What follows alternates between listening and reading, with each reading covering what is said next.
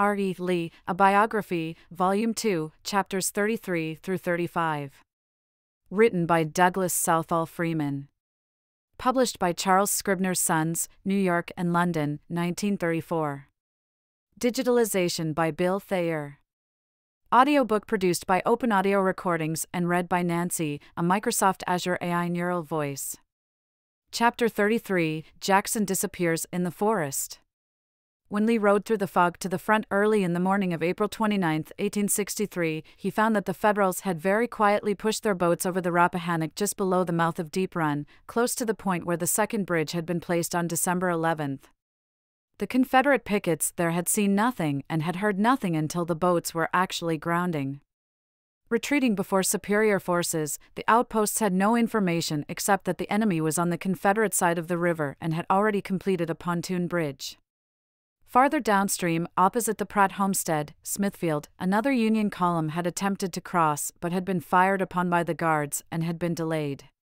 The Federals were clearing the ground at this point and were throwing their bridge, which, however, they did not complete until after 11 o'clock.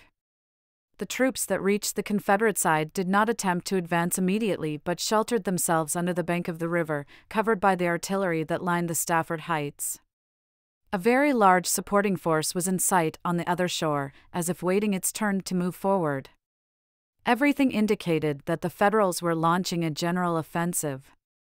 This view was confirmed by reports that heavy columns had been seen marching up the Rappahannock toward the Confederate left. The reasons that had prompted Lee in December not to attempt to resist the enemy in the plain along the river applied with equal weight now. Orders were given to prepare on the ridges to meet the attack, as in the first battle on that terrain. For the moment, Lee could do no more. There was no way of telling where the main blow would fall. Observing that there were no signs of any effort to place pontoons directly opposite Fredericksburg, Lee rode up the Rappahannock to see what was afoot there, but as he found no definite evidences of an attempt to force a crossing, he soon returned and conferred with Jackson on the proper dispositions. President Davis was notified and was asked to send forward any available reinforcements from the south side of the James, though Lee had no expectation that Longstreet could return to him in time for the coming battle, or that any other help on a large scale could reach him speedily. Jackson's own command was ordered up from Port Royal, the artillery in the rear, around Guineas, was put on the alert and, a little later, was directed to move forward. Before noon on the 29th, Stuart reported that a force of about 14,000 infantry with six guns and some cavalry had crossed below Kelly's Ford on the upper Rappahannock and apparently was moving towards Gordonsville. Lee reasoned, from other reports, that Stoneman's cavalry would cross in the vicinity of the Warrenton Springs.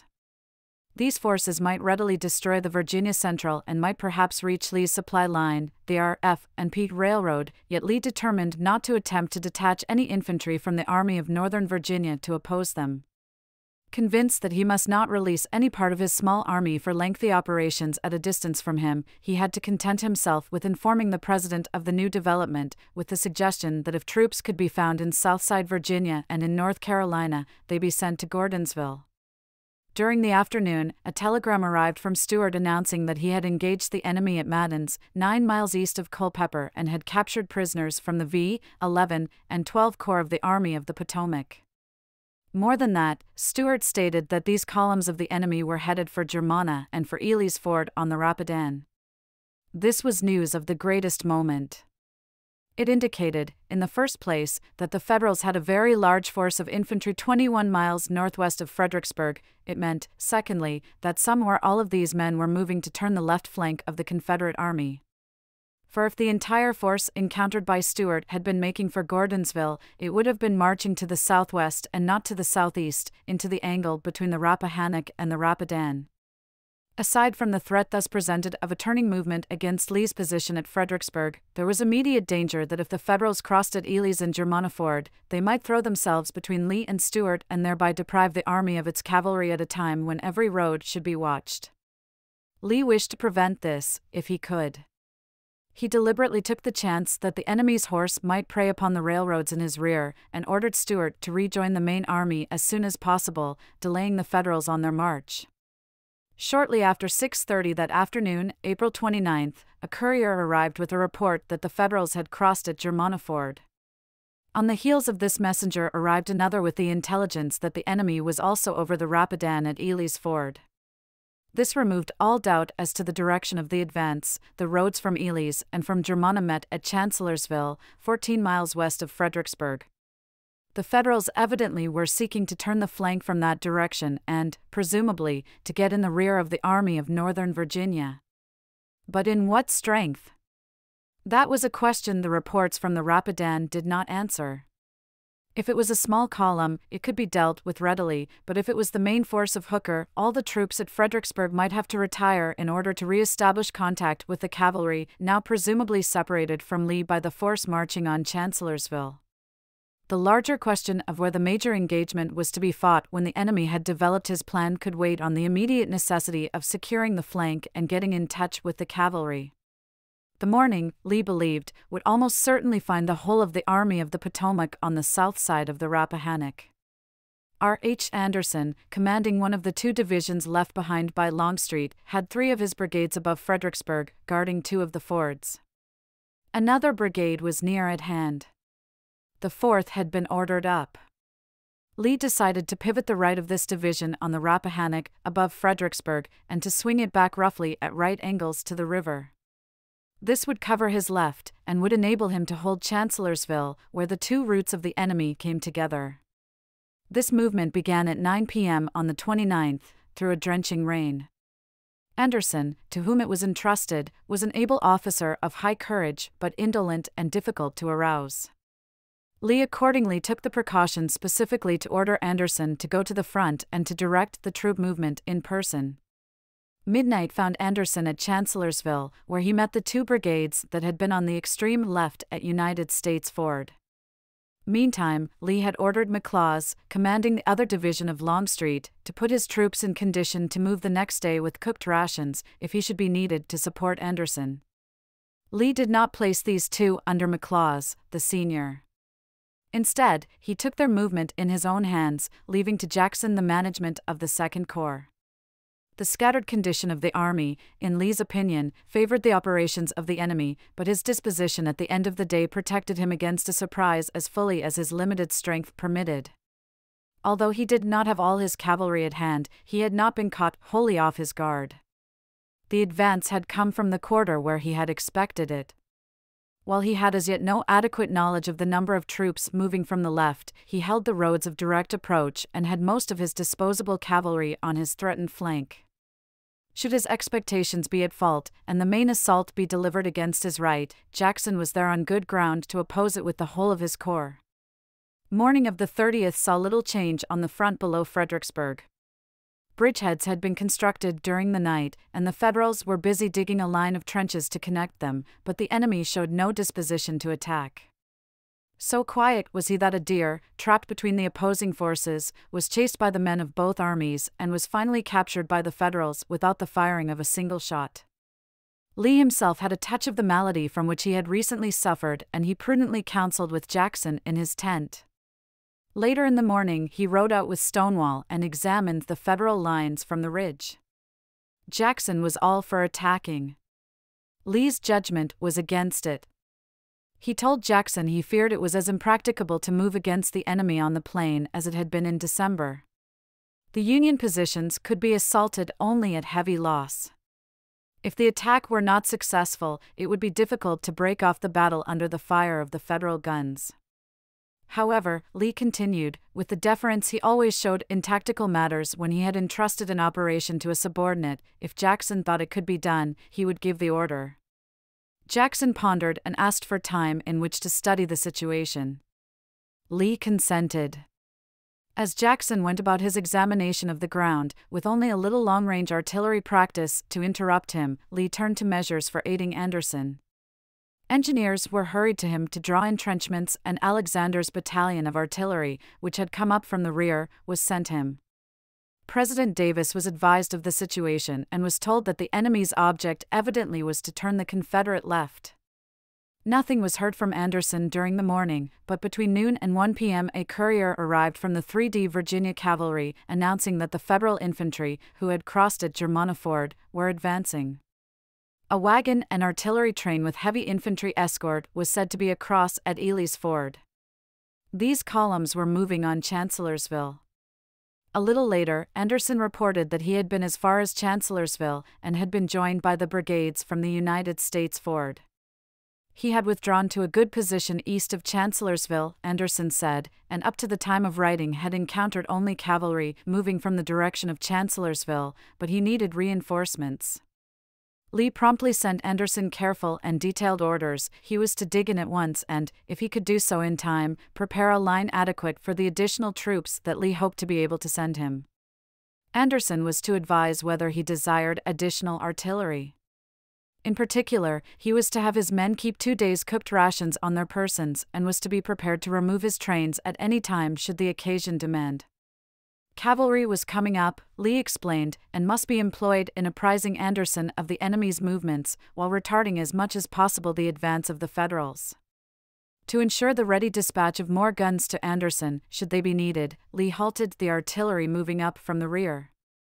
These orders to Anderson, which were dispatched at 2:30 p.m., were of historical importance. It was the first time, in open operations, that Lee had ordered the construction of field fortifications. He had thrown up works at Fredericksburg when he thought that he might wish to hold the heights with a small force, while keeping the rest of his troops for maneuver, and now he reasoned that he could increase his defensive power on the left by putting his men under cover. There was suspicion on the Fredericksburg sector that the Federals were diminishing force. Jackson, moreover, reported that he concurred in Lee's belief that an offensive on the troops below the town was impracticable. With only this scant information in hand, Lee had now to decide on his general plan. Opinion among his officers was much divided, but he studied his intelligence reports with great care and made a long range but careful examination of the strength and movements of the Federals on the Stafford Heights. At length, he shut up his glasses. The main attack will come from above, he said. And from that moment there was no doubt in his mind. He believed the Federals on the left were in large force, and that they had advanced almost as far as he could permit them to come without getting between him and Richmond. If, as he had concluded, it was not possible to drive back the Federals below Fredericksburg and then turn with his full strength on the enemy moving against his flank, only two courses were open to him either he must retreat southward, or else he must hold his position at Fredericksburg and strike at once with the greater part of his army at the columns marching on Chancellorsville. A retreat was the easier and safer course, so far as the immediate situation was concerned.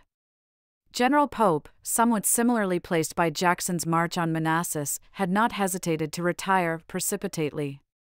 The alternative policy, to divide the army now and to give battle on the left, was to take great risks of destruction. Defeat on the left would necessitate the evacuation of Fredericksburg, disaster at Fredericksburg would bring the Federals on that sector to his right flank and rear. Late in March, Lee had argued against the evacuation of the line of the Rappahannock because, as he said, it throws open a broad margin of our frontier and renders our railroad communications more hazardous and more difficult to secure. This consideration weighed heavily with him now, and inclined him to hazard a battle to hold the front on which he then stood. Besides, only 20,000 men had been employed to repulse the assaults of Burnside's whole army at Fredericksburg in December. A lesser force might suffice to beat off the attacks of the divisions huddled under the riverbank. He probably reasoned, also, that a retreat was what Hooker might reasonably anticipate.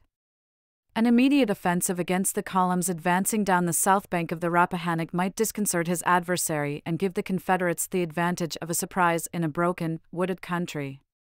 Lee's decision, therefore, was to prepare the army for a retreat, if that became necessary, but to retain a limited force at Fredericksburg and to strike swiftly on his left. Early's division, with one brigade from McLaws, supported by a strong force of artillery, would be held on the heights overlooking the plain where waited the Federal units now identified as under command of Major General John Sedgwick. McLaws was to move at midnight to reinforce Anderson, and Jackson was to follow at daybreak, with his entire corps, less Early. McLaws had already been instructed to make ready for a move, and both he and Jackson were now directed to send all the wagon trains to the rear and to provide the men with two days' rations. Jackson's mission, as set forth in orders, was to make arrangements to repulse the enemy, but Lee's purpose was, if possible, to drive the enemy back to the Rapidan. McLaws marched at midnight on April 30th to May 1st. The forehand Jackson had his men aroused soon after that hour and was on the road, by the light of a brilliant moon, before dawn covered the earth with a thick fog. About daybreak, also, Stuart arrived at headquarters, accompanied by Major von Borcke, and reported that the cavalry, after some romantic moonlight fighting, was on the flank of Anderson's column. The force of cavalry was small, only five thin regiments, for he had detached two regiments under Rooney Lee to watch Stoneman.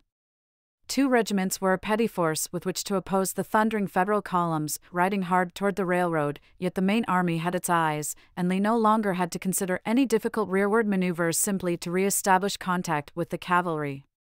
Instead of riding forthwith to the left, Lee prudently went back on the morning of May 1 to the old lines on the heights behind Fredericksburg.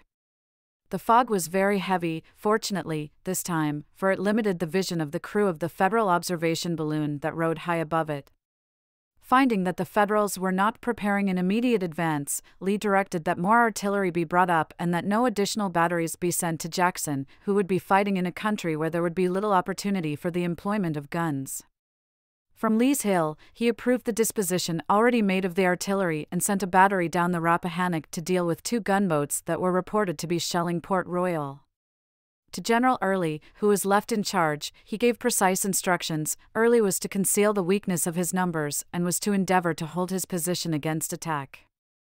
In case he was compelled to retreat before an overwhelming force, Early was to retire southward and was to protect the trains already moving in that direction.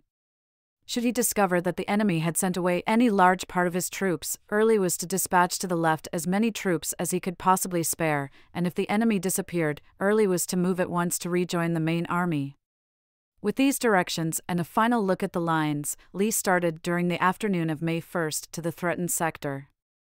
He was playing a desperate game, and he knew it. He was leaving Early with only about 10,000 men, including the personnel of 45 guns, and he was about to lead 51,000, of all arms, against a foe who, if he were making his major offensive, might have nearly twice that number in and around the gloomy wilderness of Spotsylvania. There was no news of any Confederate reinforcements. In a word, the weakened army of Northern Virginia would have to rely upon itself, and itself only, to escape the jaws of the gigantic pincers that seemed to be closing upon it. Riding down the plank road, which led west from Fredericksburg to Chancellorsville, Lee joined Jackson just as the Confederate skirmishers were engaging the Federals. Together with Jackson, who was dressed in full uniform, Lee rode along the road to Zoan Church amid the cheering of the troops, who saw in the presence of their favorite commanders the augury of victory. In a short time, the Federals began to give way before McLaws and Anderson, who were advancing along the Orange Turnpike and the plank roads. As Jackson had the situation well in hand, Lee soon rode off to the right to reconnoiter. He found that the enemy's left, which had not been attacked, was being drawn in along with the rest of the line. It was retiring to a front that rested on the Rappahannock close to Scott's Ford and ran thence south and southwestward.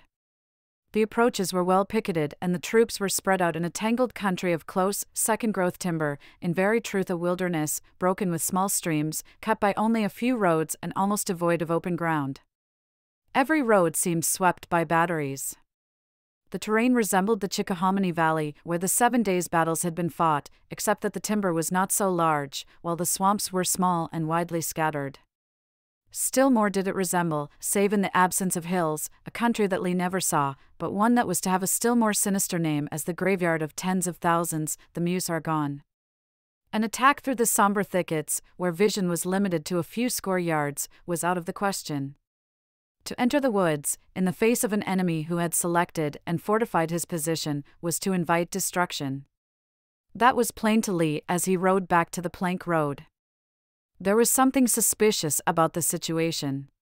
The advance of Anderson and McLaws, which was still underway, was much too easy.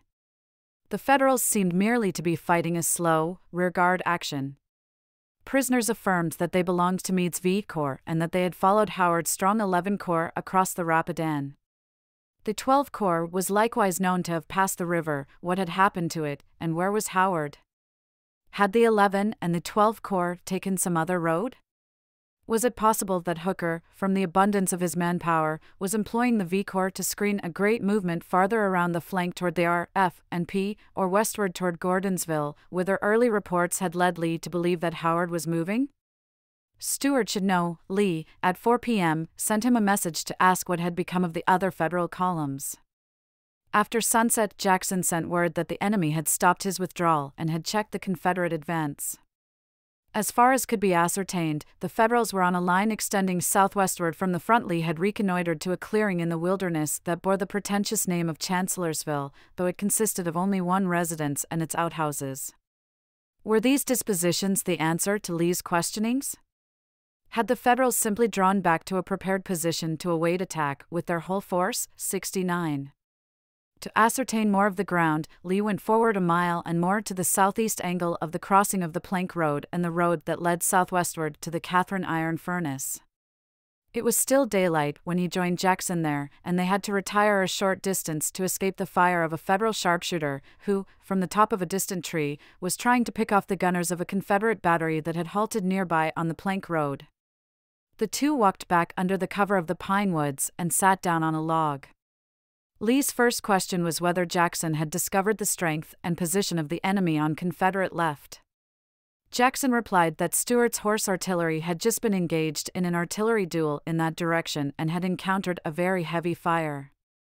General Wright, cooperating with the horse artillery, had also found the enemy in strength in the woods. Jackson went on to explain how promptly the enemy had abandoned his advance and how easily he had been driven back to Chancellorsville. The movement was a feint or a failure, he said. The enemy would soon recross the Rappahannock. By tomorrow morning, he insisted, there will not be any of them this side of the river. Lee could not believe that this would happen. He hoped that Jackson's prediction might be realized, he said, but he thought that the main army of Hooker was in their front, and he could not persuade himself that the Federal commander would abandon his attempt so readily calling for Major T. M. R. Talcott and Captain J. K. Boswell, Jackson's chief engineer, he instructed them to make a careful reconnaissance of the ground.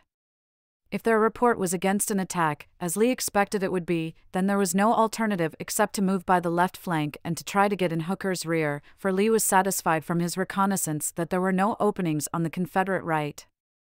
While the two were speculating on this, General Stuart rode up with a report from General Fitz Lee, who was operating beyond the Confederate left.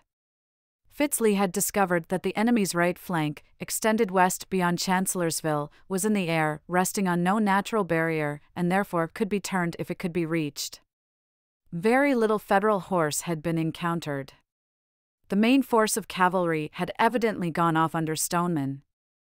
This news, of course, improved the prospect of a turning movement beyond the Confederate left wing. Secrecy and celerity were necessary for such a bold operation, both would be promoted if no considerable force of Federal cavalry was on the flank to delay the advance or to warn the Federal infantry.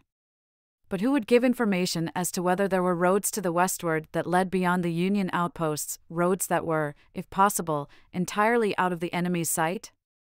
Stuart undertook to examine the ground and to find a guide. He soon rode off for that purpose.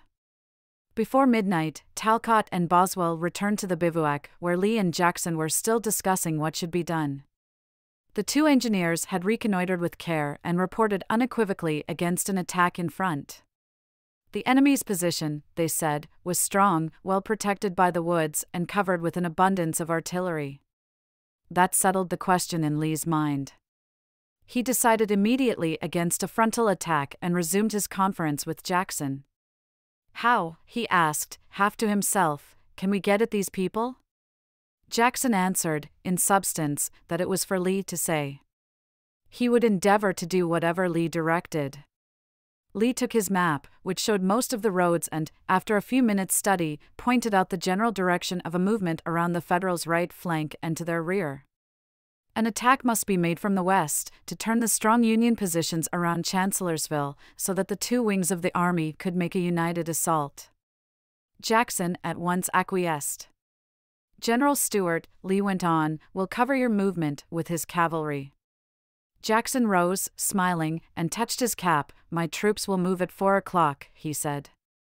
Remembering Jackson's repeated declaration that the enemy would recross the river that night, Lee added, in effect, that if Jackson had any doubt whether the enemy was still in position the next morning, he could send a couple of guns to the point where Stuart's horse artillery had been engaged that evening and could open fire on the enemy's position.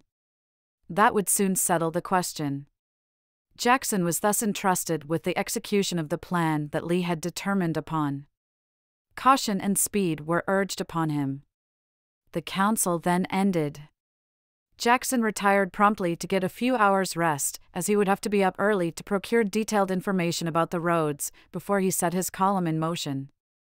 Before Lee followed Jackson to the cold comfort of a bed on the ground, Reverend B. T. Lacey, a well known chaplain in Jackson's corps, reported by order of Stuart, who had learned that Lacey had formerly had charge of a church in the neighborhood and had often traveled its byways. The minister's description of the road satisfied Lee that the movement he had ordered Jackson to make in the morning was not beyond the endurance of the troops and the horses. Relieved in mind, Lee spread out his saddle blanket at the foot of a tree, put his saddle at one end of it for a pillow, covered himself with his overcoat, and lay down. He was asleep when Captain J. Pete Smith, of Jackson's staff, a young man whom Lee was fond of teasing, waked him with a report of the situation on the right, whither Lee had sent him earlier in the evening. Lee slowly sat up. Ah, Captain, he said, you have returned, have you? Come here and tell me what you have learned on the right and putting his arm around the shoulder of the bending young officer, he drew him by his side. Smith told him what he had found. Lee thanked him and then added that he regretted the young men around General Jackson had not saved him from annoyance by locating a federal battery that had been causing trouble. You young men, he said in substance, are not equal to the young men of my youth. Smith saw that the general was rallying him and he broke away from the hold Lee tried to retain on his shoulder. The general laughed heartily, a strange sound in those grim woods and among those sleeping men marked for death, and then stretched out again. Silence fell once more over the pine thicket, silence and darkness, except for the faint light of a feeble fire that a waiting courier had lighted. An hour or so passed, and then the gaunt form of Jackson stirred. He rose, spread his borrowed cape over a brother officer who lay uncovered on the ground, and went to the fire. There, in a short time, he was joined by Mr. Lacey. Jackson made place for the chaplain on a cracker box where he had found a seat and quizzed him regarding the roads.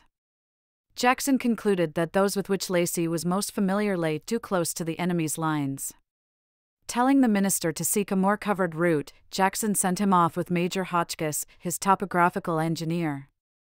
After Lacey and Hotchkiss had gone off, Colonel Long of Lee's staff woke up and found Jackson alone by the fire, shivering from the chill of the morning, against which he had no overcoat to protect him. Long slipped away and contrived to get Jackson a cup of coffee from an adjacent cook camp. As the two stood talking, Jackson's sword, which was leaning against a nearby tree, fell with a clatter to the ground. Long picked it up and gave it to Jackson, who buckled it on. There was ill omen in this, as Long remembered the incident afterwards. Now the camp began to stir in the darkness. Lee woke up and joined Jackson. They discussed the roads to the left and speculated, doubtless, on what the reconnaissance of Lacey and Hotchkiss would show. Whatever was done must be done at once, because even a careless enemy could not be expected to keep his right flank uncovered long when he had no cavalry to guard it. At Fredericksburg, Sedgwick surely would attack, also, if the Federals discovered that the right flank of the Confederate army was weakened. The two generals did not have long to wait, for Lacey and Hotchkiss soon rode up. Hotchkiss picked up another cracker box, set it between Lee and Jackson, and placed his map before them. He explained that a crude trail, which he had drawn on the sheet, had been cut through the woods, well to the southwest and out of sight of the enemy. This ran into a better road that led northward and beyond the enemy's right flank. The proprietor of the iron furnace, who had opened the byway through the woods, would act as guide over it, in case his services were needed. Lee had left the execution of the movement to Jackson, and had not prescribed a definite route or designated how many troops were to follow it. He now turned to Stonewall, who was still studying the map. General Jackson, said he, what do you propose to do? Go around here, Jackson said, and trace the route that Hotchkiss had marked. What do you propose to make this movement with? With my whole corps, Jackson answered. That was Jackson's own conception, his major contribution to the plan. He would not attempt a simple turning movement that would merely confuse the enemy and give an opening for a general assault. In moving to the enemy's rear, as Lee had planned, he would march with all his 28,000 men and would attack in such force as to crumple up the enemy and throw the whole right wing back against the fords. It was a proposal Lee had not expected, and it floored him. What will you leave me? he said, in some surprise. The divisions of Anderson and McLaws, Jackson answered, unabashed. Two divisions to face an enemy who might easily have 50,000 men in a strong position. In case the enemy should learn that Jackson had been detached and should then resume the offensive at Chancellorsville and at Fredericksburg. However, the movement around the left flank to the rear of the Federals was the only means of retaining the initiative. If it were to be attempted at all, it should be undertaken in sufficient strength to roll up the enemy's rear. The boldness of the proposal stirred Lee's fighting blood, the benefit to be gained from the operation appealed to his military judgment. The thing could be done, it should be done. If Jackson could turn the flank, he would hold the line. Well, said he, calmly, go on. And as Jackson sketched his march, Lee jotted down notes for his own dispositions. It was now nearly daylight, and the dimming stars gave promise of a clear day.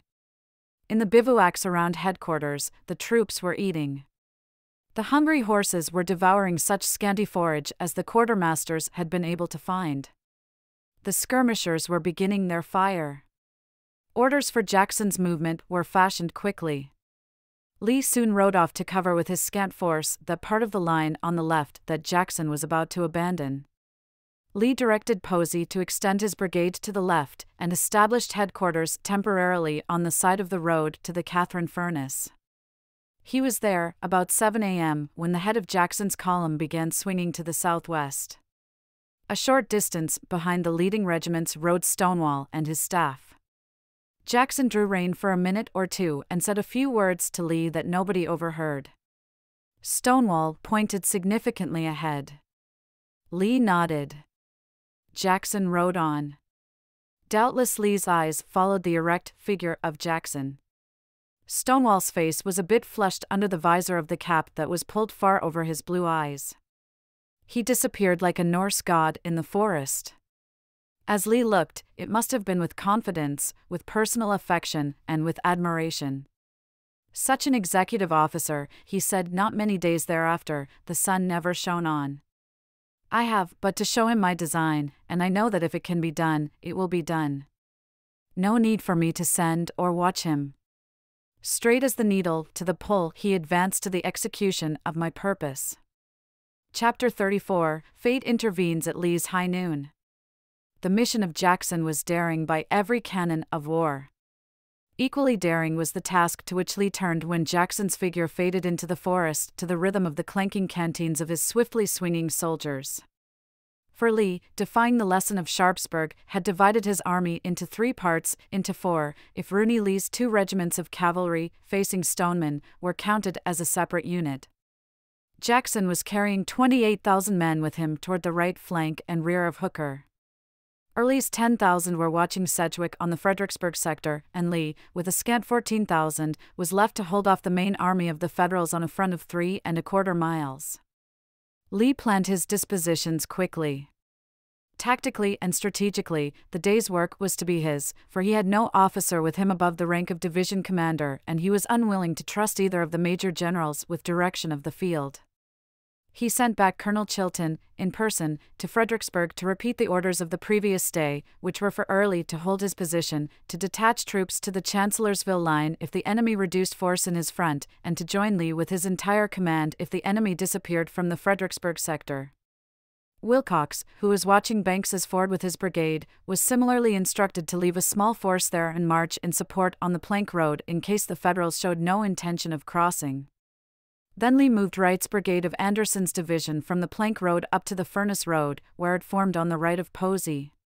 The map on page 527 shows the situation at 8 a.m. on May 2nd. It represents not only the Confederate line but also the Federal positions, most of which were unknown at that time in detail to Lee. Orders were to hold the line, with skirmishers well out, but not to provoke attack. The guns were placed as advantageously as possible to cover the approaches, but the prospect remained one of dire danger. Even when Kershaw came up to fill the gap between McLaws' left and the right of Anderson, the men were six feet apart on some sections of the line. They could not possibly hold their ground against a determined attack by the powerful enemy that faced them.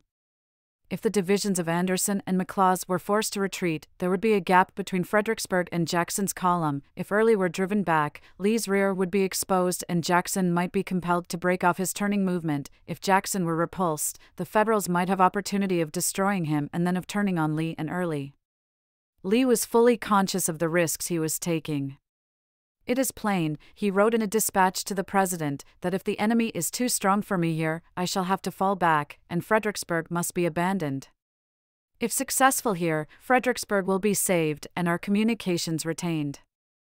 I may be forced back to the Orange and Alexandria or the Virginia Central Road, but in either case I will be in position to contest the enemy's advance upon Richmond. I have no expectations that any reinforcements from Longstreet or North Carolina will join me in time to aid in the contest at this point, but they may be in time for a subsequent occasion. If I had with me all my command, I should feel easy, but, as far as I can judge, the advantage of numbers and position is greatly in favor of the enemy. The morning opened quietly save when the skirmishers engaged angrily, or when the Southern batteries on the right growled in warning as the Federals showed themselves. The early hours were such as the Army might have spent during the weeks of waiting in front of Richmond, 11 months before. But what of Jackson? How was he faring on those narrow wilderness roads that lent themselves so readily to ambuscade and surprise? About 10 o'clock, there was a sound of artillery fire by a few guns to the westward, and at 11 this grew heavier. As noon shortened the shadows, a sudden outburst of infantry fire was audible from the vicinity of the iron furnace past which Jackson's column was moving. Soon a courier brought ominous tidings the enemy was attacking the wagon train that was following the rear of the turning column. The possibility of frantic driving, wild confusion, and blocked roads were all conjured up by that dread phrase, the enemy in the wagon train. Jackson, of course, could be counted upon to have made some provision against disaster from such a move, because he knew that Lee could not cover his line of march. However, Posey's brigade was sent toward the threatened point, and Wright was shifted to the left to support Posey. Ere long came the reassuring news that the enemy had been beaten off, that the trains were free, and that Jackson had thrown back two brigades to cover his rear but as Posey's skirmishers were hotly engaged, he was left where he was to assist these brigades, and an effort was made to place a gun where it would help him. As the afternoon wore on, it became apparent that Jackson had not been held up a second time on the early stages of his march. Nor had the enemy shifted troops from the line to meet him. Where visible in front of Chancellorsville, the Federals were not decreasing in force, though they seemed more numerous around Catharine Furnace. On McLaws's front there was some lively firing by Wofford's brigade around 3:15, but nothing to indicate a general attack by the Federals. Just as the fusillade on Wofford's lines began to die away, a message in Jackson's autograph was delivered to Lee. It was a single sheet, scrawled in pencil and reading as follows Near 3 p.m. May 2d, 1863. General the enemy has made a stand at Chancellor's, which is about two miles from Chancellorsville. I hope as soon as practicable to attack. I trust that an ever kind Providence will bless us with great success. See respectfully. T. J. Jackson. Lieutenant GENL. GENL R. E. Lee. The Leech Division is up and the next two appear to be well closed. T, J, J.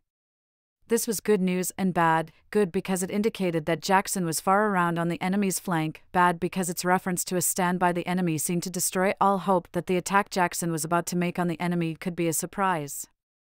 Until further reports came, Lee could only listen for the sound of firing. Apparently, nothing had happened between the time the courier left Jackson and the time he reached headquarters, for the only echo of battle that came from the west was that of Posey's skirmishers opposite the iron furnace. Suspense was rising. The day was far gone. Unless Jackson's guns were soon heard, his action would have to be deferred until morning, and, being postponed, would almost certainly be discovered. Orders were issued to press the enemy as soon as Jackson opened, so as to prevent the dispatch of reinforcements to oppose him. The next news did not come from the west, but from the east, and was enough to make excitable men turn pale. Early had left Fredericksburg. Without firing a shot, he was marching to join Lee. The strong positions on the heights had virtually been abandoned to the enemy, to be occupied at his pleasure. The rear was open to Sedgwick. It was all due to a mistake in the transmission of ever dangerous verbal orders. Colonel Chilton, who had not been in good spirits for some time, had reached Early's headquarters about 11 a.m. that day, and in some unaccountable fashion had confused the instructions he had been directed to deliver. He had told Early that he was to leave one brigade at Fredericksburg with artillery support and was to march at once to Lee with the rest of his command. Early had protested in vain and then obediently had drawn out his guns and had put them on the road. Lee, of course, at once wrote him to correct the misunderstanding and to leave him full discretion, but he did not know what might have happened after Early had left the heights. The only reason for hoping that the enemy had not seized the positions was that no report to that effect had been forwarded by the brigade that had been left behind. In any case, the situation was one of acutest danger. Fredericksburg was exposed to the enemy. No further news had been received from Jackson about his advance or about the stand of the enemy. Night was distant, but two hours. It was a desperate moment in a desperate campaign. Yet, despite his recent illness, Lee did not show misgiving in a single doubtful word or impatient gesture. If Fredericksburg were occupied in force, or if Jackson had been balked in front of a line that had been strengthened at the news of his coming, then, but what was that rumble from the west, swelling like distant thunder above the rattle of Posey's skirmishers? Every ear was strained, every heart stopped for a moment. Then, as the fury of a cannonade swept over the wilderness, every eye brightened. It was Jackson at last, hurling his veterans desperately against the Federals to the wild music of his guns. Quickly the word was passed to the right advance and hold the attention of the enemy, threaten him with attack, alarm him for the safety of his position. Not one man must Hooker be permitted to withdraw from his left to reinforce the right that Jackson was now crumpling up. As diligently as if engaged in a real offensive, the thin line sprang up and straightened and stiffened and began steadily to move forward. Past the picket posts it pressed, up to the Federal skirmishers, on toward the grim main position behind the felled trees in the thicket. The roads were to be covered, Lee said, and if any opening was found, the men were to make the most of it, but otherwise they were to content themselves with a demonstration and were gradually to incline to the left so as to join flanks with Jackson, if he succeeded in rolling up the enemy back on the center.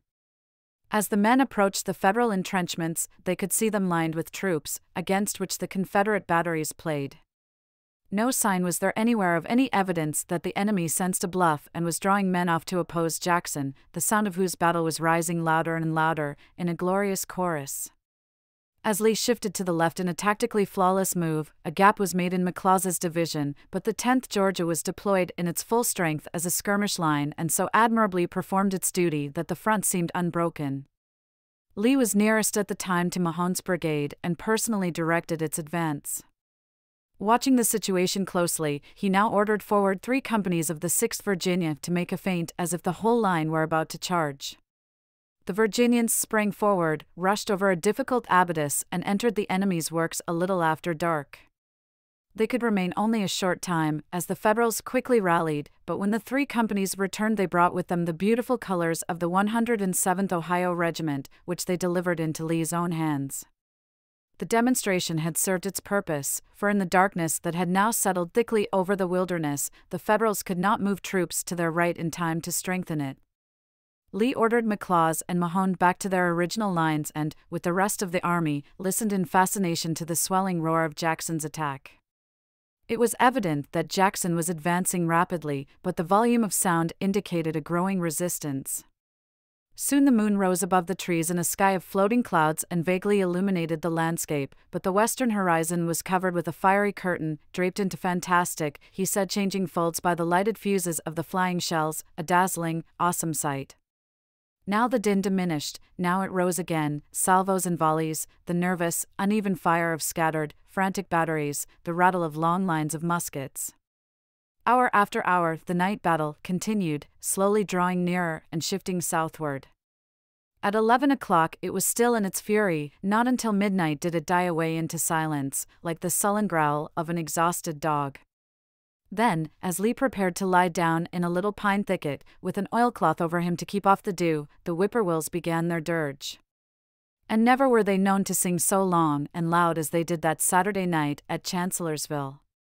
Weariness overcame the questionings of an anxious mind, and Lee went to sleep on the ground. About 2:30 he was awakened by the sound of two voices, one of them Taylor's. Who is there? Lee called.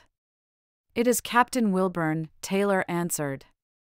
Lee raised himself on his elbow and pointed to his outspread blankets. Sit down here by me, Captain, and tell me about the fight last night.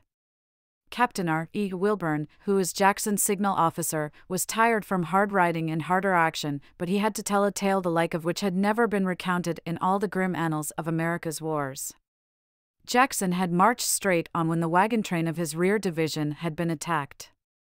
After riding Lee from the vicinity of Chancellor's House, he had discovered the right flank of the 11 Corps in the air just north of the turnpike, a mile beyond the Wilderness Church.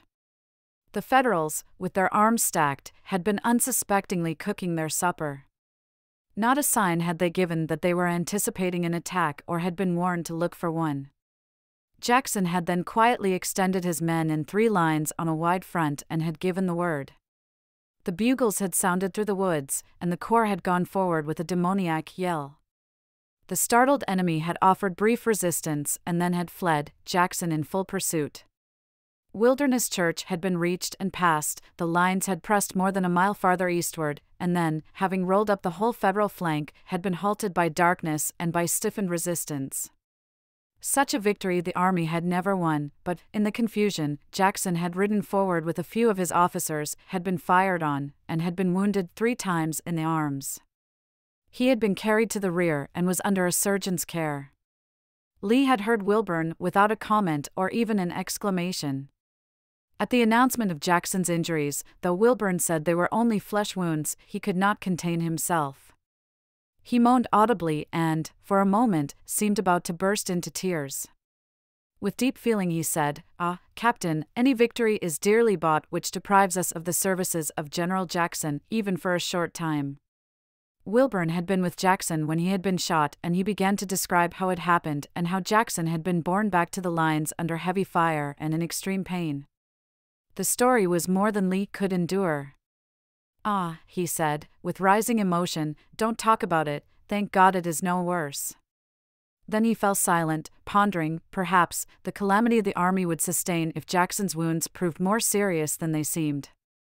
He battled with that gloomy thought until he noticed that Wilbourn was rising in the belief that Lee had ended the interview. Stopping him, he asked him to stay. I want to talk with you some more, he said, and started to ask what position the troops held and who was in command. Wilbourn told him that A. P. Hill, as senior division commander, had taken Jackson's place, but that he, too, had been wounded slightly. Brigadier General Rodes had then assumed command, Wilbourn said, but Stuart had been summoned, as senior major general on that sector, to take charge of the corps. The leaders, Wilbourn went on, were anxious that Lee come in person to that flank. Rodes, Lee broke in emphatically, is a gallant, courageous, and energetic officer and he asked where Stuart and Jackson were, that he might write to them. Wilbourn volunteered that from what he had heard Jackson say, he thought the general had planned to seize the road to the United States ford and to cut the enemy off from it that night or the next morning. This reference to the resumption of the battle galvanized Lee.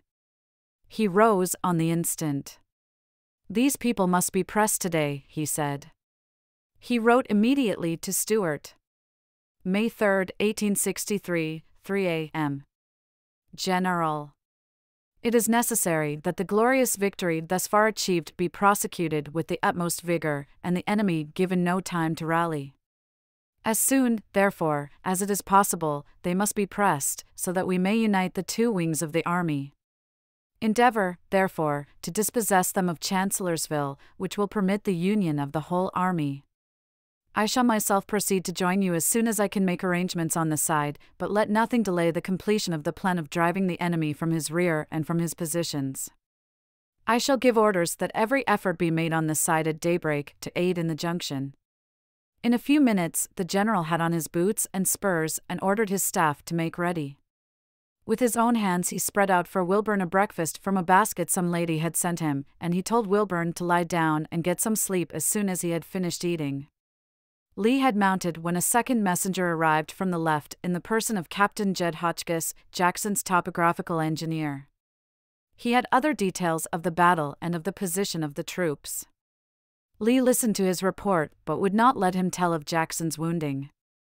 I know all about it, he said, and do not wish to hear any more, it is too painful a subject. When Hotchkiss prepared to ride off, Lee gave him further instructions for Stuart. It is all important, he said in his dispatch to Stuart, that you continue pressing to the right, turning, if possible, all the fortified points, in order that we can unite both wings of the army.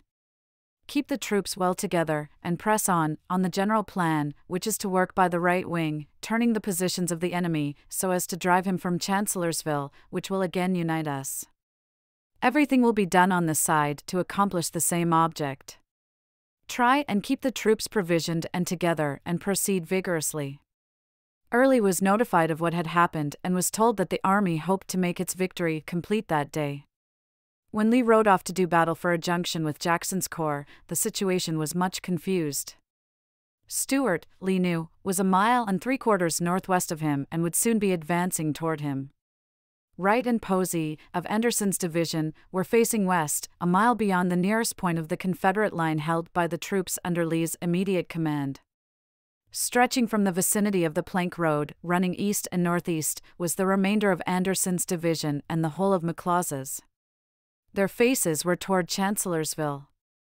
Presumably, the lines of the enemy formed a great dipper, with the handle from northeast to southwest. The sides of the dipper were east and west, and the bottom to the south. But what forces the Federals had outside this dipper, between his left and Stuart's right, Lee could not tell. His position was roughly as shown on page 536. Lee now prepared to attack the eastern and the southern sides of the Dipper with his own forces. He believed that if he did this and Stuart continued to press eastward, he could speedily uncover Chancellorsville and, in that way, more quickly than in any other, could unite the two wings of the army for a joint advance that would throw Hooker back against the Rappahannock. The situation, however, had changed during the night, and rough work lay ahead. Perry's small brigade, which had been moved back from the line at daylight, was sent down the Catharpin Road with instructions to move around to the furnace, to feel out the Federals, and to form on the extreme left of Anderson's division. Posey and Wright were to pivot on the eastern flank of Wright's brigade, were to face north, were to extend their line, and were to advance simultaneously with the rest of Anderson's division and the whole of McLaws'. The brigade commanders entrusted with this important movement knew nothing of the difficult ground through which they had to lead their troops. Their force was much too small to cover their assigned front adequately. They went to their task, however, with fine initiative, their left supported by three guns that Lee personally ordered into position. Perry cleared the ground on his part of the front. Posey engaged hotly, Wright found himself called upon with 1600 to sweep the far stretching tangle of woodland on a front of one mile. He wisely contracted his own line, throwing out a heavy skirmish line to connect with the brigades to right and to left, and pressed vigorously northward. Lee himself started to the left to direct the junction of Stuart's column and his own. As he approached Catharine Furnace, the fury of a battle to the northwest was borne upon him. Stuart had attacked before sunrise and was pushing forward. Thanks alike to the good judgment of Stuart's acting chief of artillery, Colonel E. P. Alexander, and to a bad blunder on the part of the Federals, Stuart had been able to seize an excellent artillery position known as Hazel Grove, about 2,000 yards southwest of Chancellorsville, and had massed 30 guns there. This strong battery gave him an immediate advantage. But on the left of Stuart's command, the enemy was attacking violently. Stout brigades were shaken. Regiments whose flags were covered with the bloody names of many proud victories were broken. Reinforcements had to be hurried to that part of the line until the right was almost without reserves. The center of the Second Corps was hard beset also. Its dispositions had not been tactically good. Some of the brigade commanders were fighting without knowledge of Stuart's plan or of the maneuvers of the troops to right or to left. From a knoll 750 yards west of Chancellorsville, known as Fairview, the best position on the entire front, the Federal artillery was pouring a murderous fire. Still Stuart's men pressed on, still their leader rode recklessly up and down the line, cheering, singing, and exhorting as if he were a cavalry colonel in the first exuberant days of the war. Was it possible that the butternut lines could sweep on and pinch off the salient at Chancellorsville? Could it be that Lee's bold plan to divide his army between Fredericksburg and the wilderness and then to divide it again in the wilderness would be crowned with an incredible victory?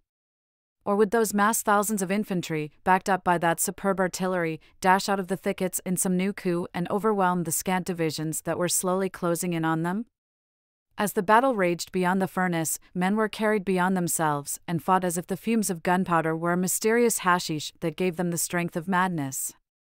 Rarely in the whole war did frenzy mount to wilder heights, never before had the exaltation of a common cause so completely possessed the Army of Northern Virginia that mistakes were disregarded, enfilading fire was ignored, and attacks from flanks and rear were met without a tremor and repulsed without a stampede. Above the din that the thickets seemed to amplify into a paralyzing thunder, could be heard the fiendish rebel yell rolling from the end of the line, clear and defiant. And in the midst of it all, at the very climax of the battle, when failure to effect a junction of the two wings of the army might mean ruin, Lee sat calmly on his horse, conversing with a German military observer, Captain Justus Scheibert. As he saw the steady advance of the lines, he wondered what those young men would do to improve themselves when the war was over, and he fell to talking with Scheibert of the future education of the Southern people. It may have been at this bloody moment that he sowed the seeds that were later to ripen into the resolution to devote his own life after the war to the education of youth. The orange plank road pointed the way to Lexington. As Lee discussed these things with Scheibert, the Confederate flags planted on the works at Fairview and then went down under a wave of blue, another furious cannonade swept the ground, and again the flags went forward, again there was a Federal rally, and the lines gave way in confusion. From the southeast, Union troops that were withdrawing before Anderson's assault threatened the rear of the attacking force in front of Fairview. But the Confederates were following them fast. Perry's men were coming up. With one more thrust, the enemy might be pushed back, the two wings of the army united, and the victory driven home. Lee rode over in person to Hazel Grove, found Archer's brigade of Stuart's command, and ordered the men forward. For 400 or 500 yards, they advanced and then halted. Again they went on, dividing on either side of the open ground in front of Fairview and disappearing in the woods. In this maneuver, the right flank of Archer established contact with the left of Perry. A continuous line was now moving forward. Quickly, Lee sent word to Stuart that the junction had been formed. Soon a staff officer came back from Stuart, reporting his situation and asking for orders from Lee. I found him, wrote this officer, with our 20 gun battery, looking as calm and dignified as ever, and perfectly regardless of the shells bursting round him, and the solid shot plowing up the ground in all directions. Lee was ready for the final blow. Stuart was ordered to advance with his whole command up the Orange Plank Road. McLaws and Anderson would cooperate. The line now swept on without a break. On the Confederate right, McLaws met with little opposition, for the Federals saw their fate and were withdrawing toward an inner line that was little more than a vast bridgehead covering the avenues of retreat across the Rappahannock. Mahone's task was easy. Wright, Posey, and Perry met with resistance, but soon were close to the plank road. The vigilant commander of the newly formed artillery battalions hurried their batteries to Fairview. With Lee's consent, Colonel Tom Carter added his guns to those that were racing for the eminence. Soon 25 pieces, manned by some of the best artillerists in the army, were at Fairview, with Chancellorsville in plain sight. By 10 o'clock, these guns were beating a fast accompaniment for the approaching climax. The resistance to the advance of Stuart's left wing was immediately reduced. Troops facing Anderson fell back beyond the plank road. Like a wedge, the artillery at Fairview was riving the whole line. From that point, the retreat of the Federals through the Chancellorsville clearing could be seen plainly, though their ordnance still stubbornly challenged the Confederate advance. The Chancellor House was breaking into flames from chance shots. The dry leaves in the woods and the abatis of the Federal defenses were afire, their smoke blending with that of the firearms. At intervals through the smoke, where the forest was thin, glimpses could be had of bright Confederate battle flags and shining bayonets as Anderson's men worked their way almost unopposed to the plank road. The Federal artillery fire fell off. The batteries limbered up and disappeared. Where the horses were killed, the guns were valiantly removed by hand. The blue infantry that had fought so vigorously at dawn were making for the thickets that lay between Chancellorsville and the river. Everything indicated a precipitate retreat to the fords and pontoon bridges on the Rappahannock. If all went well, the enveloping lines would tighten, the retreat would become a rout, and there would be no gunboats to stay Lee's hand, as they had ten months before on the James. Strategy and the valor of his small army had apparently achieved the impossible.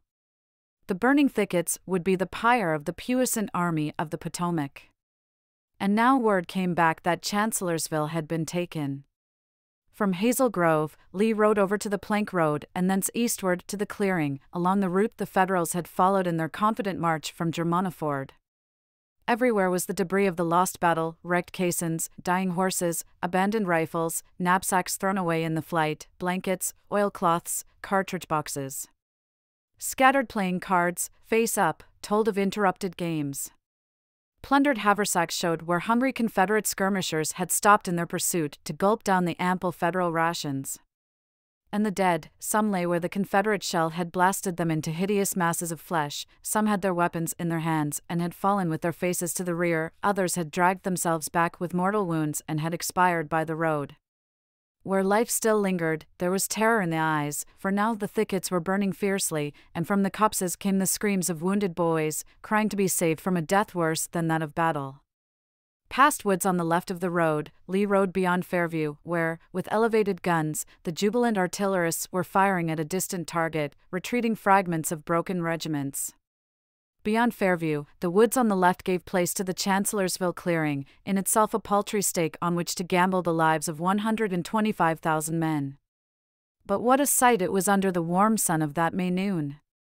There in the center of the picture was the Chancellor House, burning as if it had been a bonfire set to celebrate the victory. Beyond it, gray and raw against the thickets, were the abandoned Federal works, scarcely visible in the smoke and in the throng of men in butternut. Wright's brigade, coming up from the south, had been the first to reach the clearing, the rest of Anderson's division had quickly crowded up to the road. All of them, now, in the wild jubilation of victory, were eager to drive the enemy into the river. As Lee rode toward the Chancellor House, they recognized him. Sensing that he had fashioned their victory, they broke into the wildest demonstration they had ever made in his presence. The fierce soldiers with their faces blackened with the smoke of battle, the wounded crawling with feeble limbs from the fury of the devouring flames, all seemed possessed with a common impulse. One long, unbroken cheer, in which the feeble cry of those who lay helpless on the earth, blended with the strong voices of those who still fought, rose high above the roar of battle and hailed the presence of the victorious chief. He sat in the full realization of all that soldiers dream of triumph, and as I looked upon him, wrote one of his staff officers, in the complete fruition of the success which his genius, courage, and confidence in his army had won, I thought that it must have been from such a scene that men in ancient times rose to the dignity of gods. It was the supreme moment of his life as a soldier. The sun of his destiny was at its zenith all that he earned by a life of self control, all that he had received in inheritance from pioneer forebears, all that he had merited by study, by diligence, and by daring was crowded into that moment.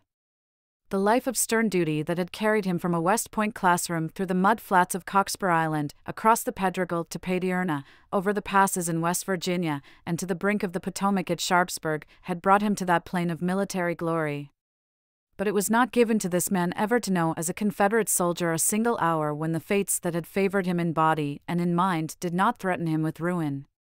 As he turned modestly from the acclaim of his troops to direct the relief of the wounded Federals in the Chancellor House, a courier placed a dispatch in his hand. He fumbled at it with gauntlet fingers and handed it Major Marshall to read to him. It was from Jackson nothing in it indication that Jackson had dictated the paper in the first consciousness after an operation for the amputation of the wounded left arm. In brief, soldierly phrases, Jackson expressed his congratulations on the victory and announced that he had been compelled by wounds to turn over the command of his corps to Major General A. P. Hill. Not for a moment had Lee forgotten his great lieutenant, but this note and the news that it had been necessary to remove the injured member shook Lee more violently than if one of the shells that were still roaring overhead had exploded under the flank of Traveler. His calm face was overcast with anguish on the instant. What was another victory if it meant that Jackson's flesh wounds were serious and that he might? Perhaps Lee would not let himself think how the wounds might terminate. With shaking voice, choked by emotion, he bade Major Marshall reply to Jackson that the victory was his, that the congratulations were due him, and that he wished he had been wounded in his stead. Quickly, Marshall wrote out the message and gave it to Lee to sign. It read General, I have just received your note, informing me that you were wounded. I cannot express my regret at the occurrence. Could I have directed events, I would have chosen for the good of the country to be disabled in your stead. I congratulate you upon the victory, which is due to your skill and energy. At the moment, the success of the operations that Lee generously credited to Jackson seemed to promise the immediate retreat of the enemy across the Rappahannock. Lee so advised the president. We have again to thank Almighty God for a great victory, he said. Speed was necessary if the victory was to be capitalized, but the troops were scattered and many of them had already been fighting since dawn. Lee felt compelled to call a temporary halt to rest the men and to organize the next stage of the offensive, which had to be conducted in one of the densest parts of the wilderness against a position of unknown strength.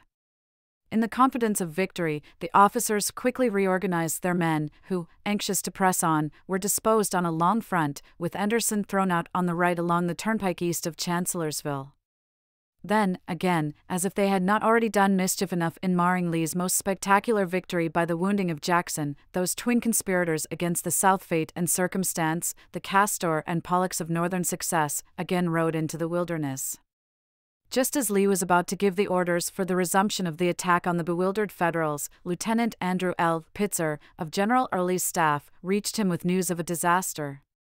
Before dawn that morning, the enemy had thrown a pontoon bridge across at Fredericksburg.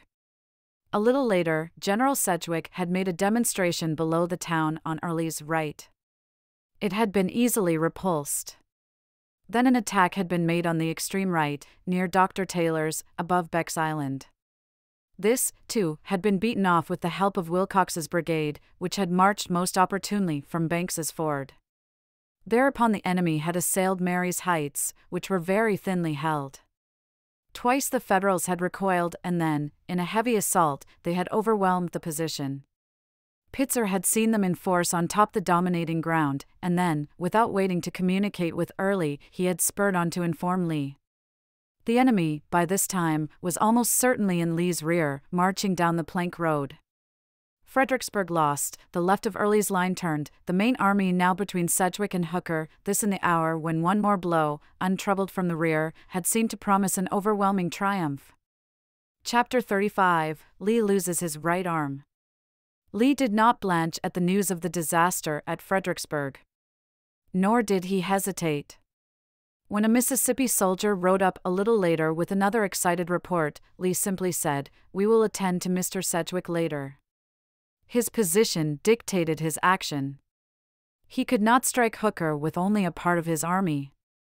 He would not retreat. Instead, he would demonstrate against Hooker's crippled host, would hold it in the wilderness, and would detach troops immediately to join Early and to deal with Sedgwick's column. Whom should he send? Not Anderson, for he had been fighting since dawn, not any part of Jackson's corps, for it had been in desperate action two days. Obviously, McLaws must go, for his front was not in danger and his troops had not been heavily engaged, yes, and, as one of McLaws's brigades had been left at Fredericksburg, he would give him, in its place, Mahone's brigade of Anderson, which, on the 2D and on the 3D, had had little to do. This time, too, he would take no chances that orders might be delayed or misunderstood. He would deliver them in person. Riding quickly to McLaws's front, he found the general and directed him to move Kershaw's and Mahone's brigades down the plank road at once to resist the enemy's advance. As soon as they were well on their way, he ordered McLaws to follow in person with his remaining brigades, those of Wofford and Semmes. Early was notified that reinforcements were being sent to him and was directed to cooperate with McLaws in driving Sedgwick, who was believed to have with him one corps and part of another. The detachment of McLaws left Lee with only 36,000 to 37,000 men to face Hooker. Two brigades were reported on the move from Richmond to support him, but as Stoneman's cavalry were known still to be raiding along the lines of communication, Lee determined to hold these troops, Ransom's and Pettigrew's brigades, at Hanover Junction to guard the railroads. Establishing temporary headquarters in a little tent by the side of the Orange Plank Road, Lee now undertook to make a demonstration that would discourage Hooker from taking the offensive on the strength of the news from Fredericksburg. Lee assumed, of course, that the knowledge of the success on that sector would lead Hooker to halt the move back to the north side of the Rappahannock, but he believed he could hold him within his lines. Summoning to his tent Brigadier General R. E. Colston, who was in temporary command of Trimble's division, he gave him instructions. General, said he, I wish you to advance your division to the United States Ford Road. I expect you to meet with resistance before you come to the bend of the road. I do not want you to attack the enemy's positions, but only to feel them. Center engineer officer with skirmishers to the front to reconnoiter and report. Don't engage seriously, but keep the enemy in check and prevent him from advancing. Move at once. It was then three o'clock, and the troops under McLaws were on their way back toward Salem Church, four miles west of Fredericksburg, a good position on which to meet an attack. Heth's and Rodes's divisions were left where they were. From headquarters, Lee now rode to the right of the line and instructed R. H. Anderson concerning his part in the game of keeping General Hooker amused. Anderson was told to move his division northward from the turnpike along the river road towards the Rappahannock. This was a very important precaution because the river road led into the old mine or mountain road, which ran southeast from Hooker's lines and joined the turnpike at Zoan Church. If Anderson blocked the river road, he could threaten the enemy's communications and break up any movement undertaken down the Rappahannock from Hooker's line to form a junction with Sedgwick. By this time, in all probability, Lee had heard that Early had evacuated his positions on the ridges below Fredericksburg and had marched down the Telegraph Road. He doubtless knew, also, that Wilcox, with splendid initiative, had withdrawn from Taylor's Hill to the Plank Road and was very stubbornly resisting the advance of Sedgwick's columns. The situation, then, as he appraised it about 4 p.m., was as shown on the preceding page. It was, of course, a grave state of affairs, fraught with disaster if Lee's plans miscarried, but there is not a line in the reports to suggest that Lee viewed it otherwise than with the calmness he always displayed. The confidence neither of the commander nor of the army was shaken when, about 5 p.m., there came the sound of a cannonade from the direction of Salem Church, followed by reports of an infantry engagement. Now, if ever, Hooker would assume the offensive, yet even on Anderson's front, where an eruption seemed most likely, the Federals did not attempt an advance. Instead, Anderson made a reconnaissance and projected an attack, though he found the day too far spent to launch it. For two hours and more, the firing from the east continued. Taking it to mean that McLaws was attacking, Lee determined to develop whatever advantage McLaws might gain. He reasoned that as Early was on the Telegraph Road, he was potentially on the flank of Sedgwick's columns on the Plank Road. The combined strength of Early and of McLaws should suffice to demolish Sedgwick. So, to the music of the cannonade, he wrote to Early and to McLaws outlining a plan whereby Early should come up on the enemy's left while McLaws attacked in front. It is necessary that you beat the enemy, he wrote McLaws, and I hope you will do it. Just as he had seized the initiative in dealing with Hooker by advancing toward Chancellorsville, so now Lee purposed to put Sedgwick on the defensive. The first news from McLaws's column indicated that the way had been prepared for the execution of this plan. Wilcox, who never appeared to better advantage than on that day, had made a stand at Salem Church, on the Plank Road, where he had been joined by McLaws. The Federals had come forward about 5:20 after artillery preparation. They had gained an initial advantage and had broken the front of one regiment but had been savagely repulsed. A second attack had been beaten off easily. Then Wilcox and Semmes, who was on the left, had rushed forward and had driven the enemy for nearly half a mile, retiring only when approaching darkness rendered their advance position dangerous. In the security this news afforded, Lee prepared to bivouac for the night. Sitting down at a little fire, he was soon joined by Stuart, with whom he talked of the day's developments and of the probable resumption of the battle. Major von Borcke rode up presently and had to be told of the adventure that had befallen Captain Scheibert, the Prussian observer then attached to Lee's headquarters. Scheibert had gone off during the day to seek forage for the horse he was riding and at a nearby farmhouse had suddenly found himself confronted by six Federal infantrymen. Pretending that he was followed by a body of cavalry, Scheibert had bluffed the Union soldiers into surrender and then had marched them off and had presented them in person to Lee. The recountal of this episode was much interrupted by the arrival of dispatches, which Lee had great difficulty in reading by the dim and flickering light of the tiny fire. Von Borcke slipped away and after some time returned with a box of candles. He had noticed them near the lines during the day and very daringly had gone back and had picked them up, almost under the noses of the Federal skirmishers. Lee was grateful, but surmising that von Borcke had acquired them at no small risk to him, he gently rebuked him. Major, he said, I am much obliged to you, but I know where you got these candles, and you acted wrongly in exposing your life for a simple act of courtesy. Perhaps Lee remembered how another warrior in an ancient contest with the Philistines had poured out water that three mighty men had brought him from the well of Bethlehem, which is by the gate. By the light of one of von Borcke's candles, Lee read near midnight a message from McLaws, enclosing one from Early, in which that officer proposed that instead of attacking on the left of McLaws, as planned, he return to Marye's Heights, cut Sedgwick's communications with Fredericksburg, and then move against the enemy in cooperation with McLaws. Lee forthwith had one of his staff officers write to McLaws approving the scheme, if practicable, but cautioning him to press the enemy and not to permit Sedgwick to concentrate on Early while that officer was between the Federal commander and the Rappahannock.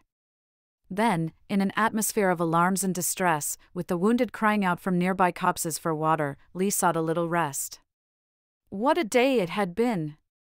A lifetime had been crowded into it, the proud news of the victory on the left, the shocking report of the wounding of Jackson, the desperate advance on Chancellorsville, the triumphant hour amid the shouting troops in the burning forest, the ominous intelligence that Jackson's arm had been amputated, the announcement of the breaking of the line at Marye's Heights, the dispatch of McLaws, the battle at Salem Church. All had been crowded into the hours that had elapsed since he had been aroused by the arrival of Captain Wilbourn in the pine thicket where the whippoorwills had been calling. When Lee took up his duties on the early morning of Tuesday, May 4th, one of his first thoughts was of his wounded lieutenant. Reports were that Jackson was doing well. He had rallied from the operation, had slept, and was resting comfortably in a tent. Lee felt, however, that there still was danger of a raid by the enemy's cavalry from the direction of Ely's Ford, so he sent a guard to the vicinity of Jackson's temporary quarters and instructed the corps surgeon, Dr. Hunter McGuire, to remove him to a place of safety at Guineas as soon as this could be done without discomfort to the patient. Reconnaissance undertaken at daylight showed that Hooker had strengthened his position. On well chosen ground, protected in part by streams, he had a heavy line, with abatis and ample batteries. Anderson was already preparing to feel out the enemy on the Confederate right, but Lee quickly decided that it would be a waste of life to attack with less than his entire force. To concentrate all his units, he must first dispose of Sedgwick and remove the threat against his rear. He must take no chances with this. McLaws and Early might suffice to hold Sedgwick or even to defeat him, but it was wise to adhere to the sound old fundamental of presenting a superior force at the point of attack. Hooker must be held, if possible, with the artillery and the three divisions of Jackson's corps. Anderson should go to reinforce Early and McLaws. Scarcely had Anderson started and Heth moved up to Anderson's line when Lee received a dispatch from McLaws, in which that officer explained the details of Early's plan of a joint attack. McLaws expressed doubt as to his ability to cooperate adequately with the troops he had and asked for reinforcements. Lee replied that Anderson was marching to McLaws's support, and as the operation had now assumed magnitude, he decided to ride to the right in person to supervise it. Perhaps he was the more readily prompted to do this by his knowledge of McLaws, who, as senior of the three division commanders, would assume command. Lafayette McLaws was a professional soldier, careful of details and not lacking in soldierly qualities, but there was nothing daring, brilliant, or aggressive in his character. An excellent division commander when under the control of a good corps leader, he was not the type to extemporize a strategic plan in an emergency. When Lee reached the vicinity of Salem Church, he found the situation less favorable than the dispatches had indicated. McLaws had postponed all operations pending the arrival of Anderson and knew very little about the dispositions of the enemy. The head of Anderson's column was close at hand, but the remainder of it came up very slowly. As Lee awaited its appearance, trying to ascertain something definite about the enemy's whereabouts, his patience speedily exhausted itself. Worn by lack of sleep and exasperated by the snail like pace of Anderson's men, he lost his temper and was in distinctly bad humor. When at last Anderson's three brigades were on the ground, Lee ordered them farther eastward to fill the gap between McLaws's right and Early's left, but the country was rolling, there were no decent roads in the direction of Anderson's advance, and his progress was slow. McLaws must have been bewildered, for he did nothing whatever. At length, with Anderson on his way, Lee rode around to Early's sector. He found him on an elevated position, in rear of Lee's Hill, across Hazel Run from Alum Springs Mill. Early had a very good account to give of himself. Soon after sunrise, he had marched up the Telegraph Road and had recovered Marye's Heights and Lee's Hill. Barksdale's brigade had been sent to the stone wall below Marye's Heights, but had not occupied the town because it had discovered a strong force there, protected by rifle pits. As far as the enemy's position could be ascertained in the broken country, Sedgwick had a line in some old Confederate gun positions stretching parallel to the Rappahannock in rear of the heights at right angle to the troops in this position, who were subsequently found to belong to Howe's division, the main Federal line ran slightly south of west, close to the Plank Road, and extended to McLaws's front. From that point, it ran north toward Banks's Ford, but how strong it was in that quarter and where it extended, nobody seemed to know. Early's plan was to advance up the high ground in rear of the heights and to turn the Federal position on the Plank Road, while Anderson attacked on his left and McLaws closed in from the west. It was a plan that involved no little maneuvering over difficult terrain, but as it seemed feasible, Lee approved it and rode back toward the center. The troops there were still having much trouble in getting into position.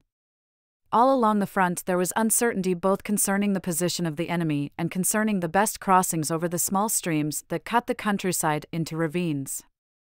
It must have been after 2 p.m. when Lee returned to Anderson's front, and even then, much time was lost in reconnaissance.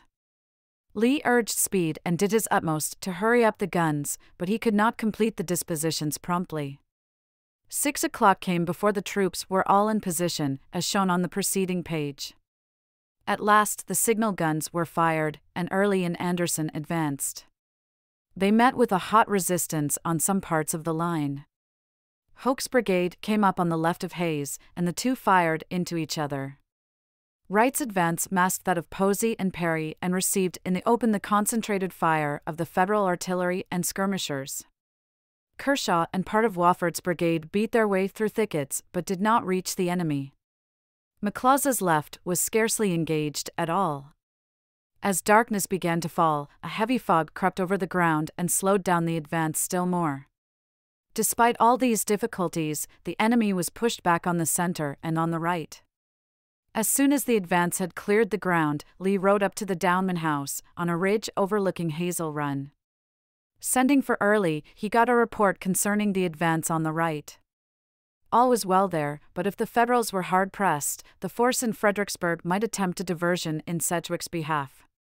Early, in consequence, was directed to send two brigades to strengthen Barksdale, and with the rest of his command was to draw a line perpendicular to the Plank Road. Accumulating reports from the other brigade commanders during the course of the next hour led Lee to believe that if the enemy were vigorously and immediately assailed, he would be forced across the Rappahannock that night. If he were allowed to remain undisturbed where he was, he would entrench again during the night, would be ready to give battle the next day, and would hold up the return of the three divisions to Chancellorsville, where Hooker at any time might take the offensive. For this reason, Lee determined to push the advance in the darkness, the first time he had ever undertaken a night attack. Early was advised, McLaws was instructed about the movement of his brigades, Alexander and Hardaway were told to move guns within range of Banks's Ford and to shell it. Stuart, all ears, reported during the evening that he could hear the enemy moving vehicles on the Confederate left, beyond Chancellorsville, but whether this presaged a retreat or the beginning of an attempt to turn that flank, he could not say. If it were the start of a new offensive by Hooker, then, obviously, the need of clearing the rear was greater than ever. When he learned of these activities on the extreme left, Lee thought of Jackson as well as of the army. He felt that the removal of Stonewall to Guineas was imperative. A messenger was hurried off to instruct Surgeon McGuire to that effect. Remembering, too, that he had recently forbidden surgeons to accompany wounded officers to the rear and thereby perhaps to neglect the soldiers on the field, he specifically ordered Dr. McGuire to go with Jackson. The prompt recovery of the commander of the Second Corps meant more to the Army at that time than anything else. Through the night, the artillery boomed away at the unseen target of Banks's Ford, but in the fog, the weary infantry made no progress. At daylight, when the skirmishers advanced, the bird had flown. Sedgwick was across the river. Word came soon after from Fredericksburg that the brigade of Colonel Norman J. Hall at that point had also started back over the Rappahannock, had repulsed an attack to halt its retreat, and was regaining the north bank. Its pontoon bridge had been cut loose and was slowly drifting toward the Stafford side of the stream. All was well on the Chancellorsville front. Stuart reported that a forced reconnaissance had shown the enemy in strength in his earthworks. As Stuart said nothing about any attempted advance on the part of Hooker, it was manifest that the Federal commander had obligingly waited for Lee to clear his rear without interfering with his plan of operations. Lee could accordingly prepare to march again to Chancellorsville and confront Hooker. But as Sedgwick could readily return to the right bank of the river, Lee took precautions that his final blow at Hooker should not again be halted at the very moment it was poised. Early was sent back to Fredericksburg with his own division and Barksdale's brigade. The other troops were directed to start their westward march to the Chancellorsville front. The units were badly scattered, however, and were showing exhaustion. It was slow work to reconcentrate them. McLaws got away in fair time with orders to relieve Heth on Anderson's line nearest the Rappahannock. It was 4 p.m. before the roads were clear for Anderson, and as he advanced, one of the worst storms of the spring broke over his tired troops. Night found the head of his column still one mile from Chancellorsville. The day did not seem to have been altogether wasted. In fact, though there was natural regret that Sedgwick had gotten off so easily, the situation had been restored. It was practically what it had been on the afternoon of May 3, except that there were now no Federals on the south side of the Rappahannock at Fredericksburg. Lee was free to strike again, and that was what he had hoped to make possible when he had started after Sedgwick. But he had to count his hours.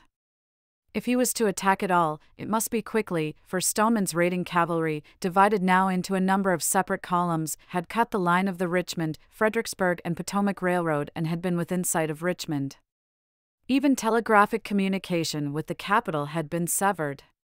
Stoneman would of course retire across the Rappahannock if Hooker did, but any long delay in sending Hooker back to his starting point would prolong Stoneman's raid and probably leave the army without food and without ammunition.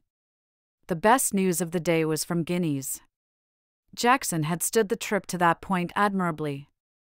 He was in the best of spirits, his wounds were beginning to heal, and he had eaten well.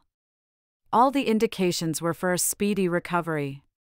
As Lee retired on the night of the 5th, under a fly tent at Fairview, with every intention of delivering a general attack on the morning of Wednesday, May 6th, his first prayer must have been one of gratitude to God for the improvement of him who was the spearhead of the army. When Hooker was given the coup de grace and Jackson was well again, that long projected new offensive into Maryland might be started, and then. Orders were to advance the skirmishers all along the front at daybreak and to follow this with a general assault. That this would be bloody business, everyone in the army recognized, but there was no hesitation and no misgiving. If the army had been able to turn the Federal right on the evening of the 2D and to break the line on the morning of the 3D, what was there to keep it from driving the enemy into the Rappahannock on the morning of the 6th? At dawn, the camps were astir, the scant rations were hastily eaten, the skirmishers were sent found, the line of battle was being formed. At headquarters, Lee wrote a dispatch to the War Department, reviewed the dispositions, found all in readiness, and was on the point of giving the order for the general advance when General Pender galloped up and rushed in. His skirmishers had already moved forward, he said, but Hooker was gone. The frowning lines in the woods were empty. Why, General Pender? Lee exclaimed in amazement that nothing of this had been reported during the night. That is the way you young men always do. You allow those people to get away. I tell you what to do, but you don't do it. Pender could say nothing. Go after them, Lee cried, with an impatient gesture, and damage them all you can. There was no damage the advancing divisions could inflict. Hooker had thrown up the sponge. Federal troops, guns, horses, and wagons were safely over the Rappahannock. The Confederates who had gone forward in the expectation of a bitter fight spent the forenoon in succoring the enemy's wounded, in exploring the lines, in commenting on the great strength of the works, in picking up booty and stragglers, and in gazing blankly into the woods that fringed the river. Lee gave them half a day for this curious recreation, then he had them recalled and formed. Leaving a few regiments to care for the wounded, to bury the dead, and to collect the prizes of war, he started back to Fredericksburg with the main army. Over horrible roads and through a drenching rain that began before night, the troops retraced their steps to the familiar camps. The weary army had now to be refreshed, the gaps had to be filled, and officers had to be designated to replace those who had been killed or disabled. P. Hill had already been ordered back on the 6th to the temporary direction of the 2nd Corps, for his injuries were slight, and Stuart was again with his beloved troopers to head D. H. Hill's old division, Lee asked the immediate promotion of Brigadier General R. E. Rodes, whose gallant leading of that command on May 2 had been especially commended by Jackson in a message to Lee. For the command of Trimble's division, which Brigadier General R. E. Colston had handled during Trimble's convalescence, Lee asked Major General Arnold Elzey or Major General Edward Johnson if the latter were able to do field duty. Davis sent him Johnson. Fortunately for the hungry men, the repair of the railroad from Richmond was completed on the 6th or 7th, and when congratulatory orders were issued on the 7th, the men had rations as well as honors to boast. They were allowed to rest till tired muscles were content.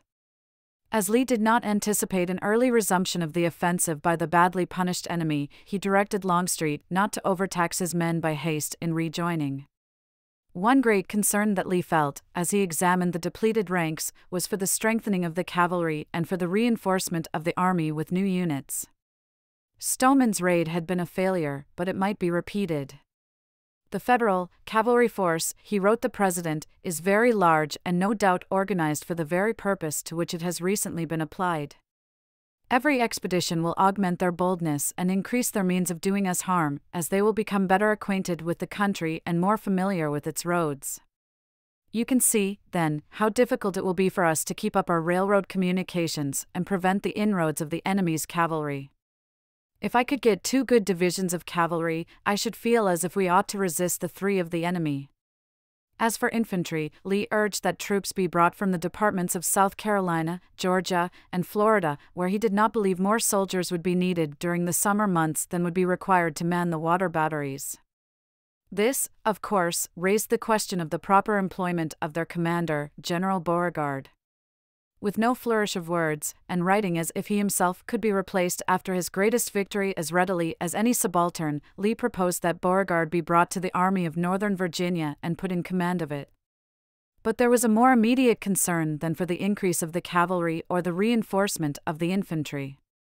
One of Jackson's chaplains, Reverend B. T. Lacey, came to headquarters during the morning of the 7th on his way to find Dr. S. B. Morrison, Early's chief surgeon, whom Dr. McGuire desired in consultation.